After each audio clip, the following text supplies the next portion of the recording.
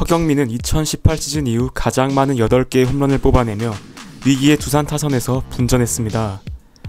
그럼에도 김재환, 페르난데스, 양석환 등 타격을 책임지던 선수들의 성적이 망가지며 두산의 공격력은 급격히 떨어졌는데요. 시즌 초반 리드오프로 나서며 높은 출루율을 기록했고 전반기 타율 3할 9리를 기록하며 자신의 가치를 입증했습니다. 박계범과 안재석의 불안한 수비와 대비되는 안정적 수비도 곁들여졌죠. 후반기에는 타격감이 떨어져 스스로에게는 아쉬운 시즌이 되었습니다. 짝수 시즌에 잘했던 허경민의 모습을 이어갔지만 팀 성적이 무너져 빛이 바랜 2022년이었습니다.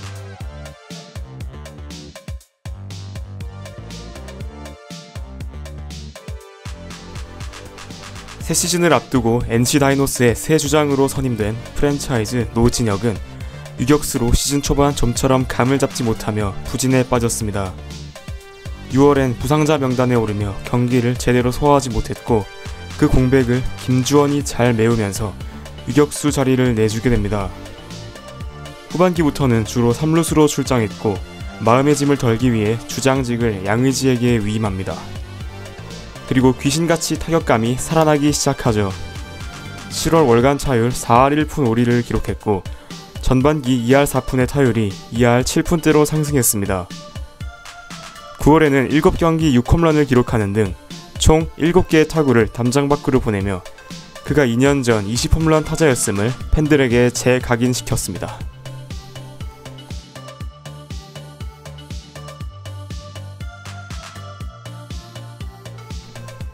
4월의 한동희는 리그 최고의 타자였습니다.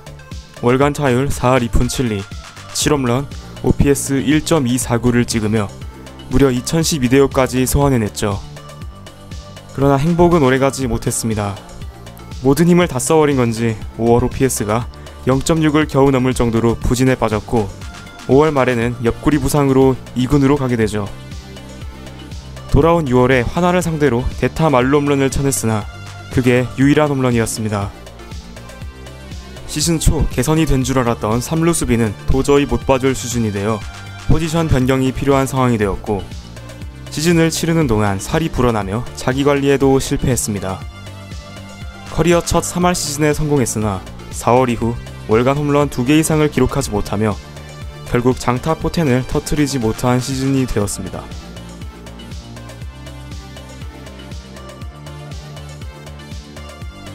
LG가 새로운 외인 타자로 3루수 리오 루이즈를 데려오며 문보경의 자리는 좁게만 보였습니다. 하지만 개막 후 최은성의 공백을 메우며 뜨거운 타격감을 과시했고 경쟁자 루이즈와 김민성이 부진해 3루 자리를 얻어낼 수 있다는 희망이 생겼죠. 하지만 4월 말부터 5월까지 극심한 부진을 겪었고 2군에도 내려가게 되는데 6월에 그동안의 서름을 날려버리는 압도적인 성적으로 3루수 주전 자리를 꿰차게 됩니다. 7경기 연속 멀티히트 행진을 이어갔고 7월을 지나 8월에도 3할 후반대의 타율로 팀 내 최고의 타자 중 한 명으로 거듭났습니다. 구단 최연소 3할 타자라는 업적을 달성했으며 동나이대 3루수들보다 훨씬 뛰어난 수비력까지 보여준 2022 문보경이었습니다.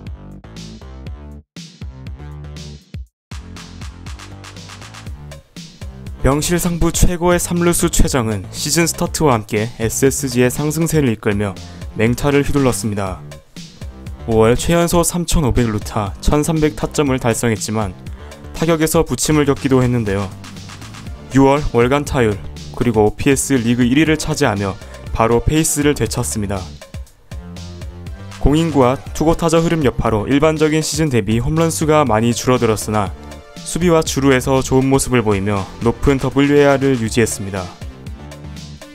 고우석을 상대로 터트린 동점 홈런으로 7년 연속 20홈런이라는 위협을 달성했습니다. 또 후반기 타율이 2할 3푼이었음에도 14홈런으로 전반기 대비 높은 OPS를 기록했는데 홈런들도 결정적인 순간마다 날려주며 스타는 스타다라는 것을 보여준 최정이었습니다.